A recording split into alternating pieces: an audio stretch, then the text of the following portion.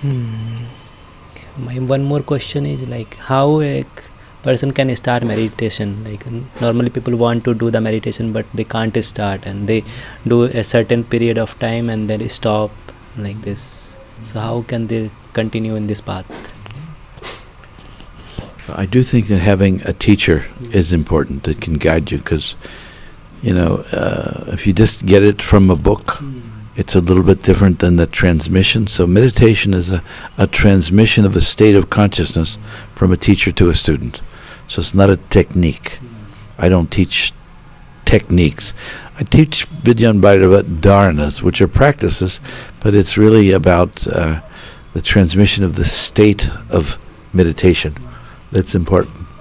Those who've started a meditation practice, it's important for it to be regular and disciplined. So once you start a meditation practice, it should be every day. To make that easier for people, I recommend same time, same place, same duration, same practice. You can change it consciously, but don't try one thing one day and then the next. One of the dangers we have in Vigyan Bhairava is in teaching that is there's so many practices and people get overwhelmed and confused. That's why I say this is a dharana.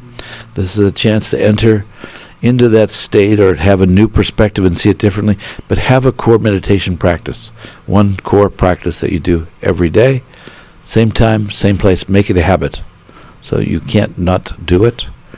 The other thing is to have satsang with other people who meditate. If you can find a group to meditate with and to practice, there's an energy field that's created that makes it easier. I've been meditating over 50 years now. Been teaching 40, but meditating over 50 years. And myself, it's it's deeper when I meditate with other people.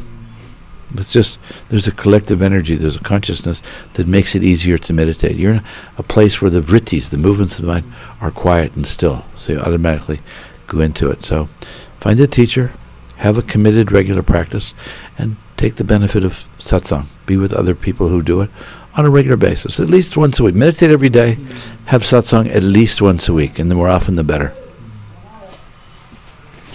Thank you, so much for your guidance. And last, I want to ask, like, what is your message to everyone, like this whole earth? To, what do you want to share? I'm happy to.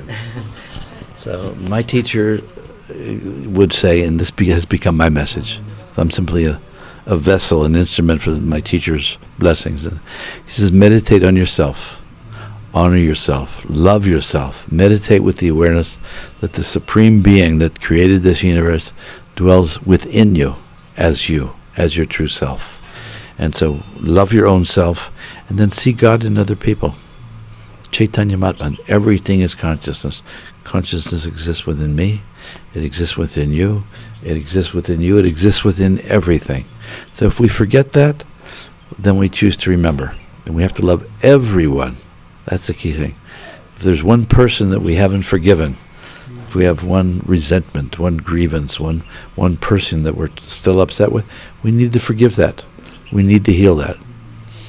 It's important. You know what it's like when you, you meditate, you're in great bliss. Then you see the one person you don't like, and where's the bliss go? Mm-hmm. It's gone. That's why to be whole means to include everyone and everything. As long as we put someone or something out of our field of love, we haven't entered into the kingdom of heaven. We're not whole. We're still suffering in separation. So meditate on yourself, love yourself, see God in everyone and everything without exception. Simple, simple. Simple, not easy. Thank you, Swamiji, for all your wisdom and it's nice talk to you. Thank you, Bodhi. Thank you. You have such a pure and beautiful heart. Thank you for inviting me to share this with you. I love having you in our Sangha. You're such a pure and beautiful soul. I love you deeply.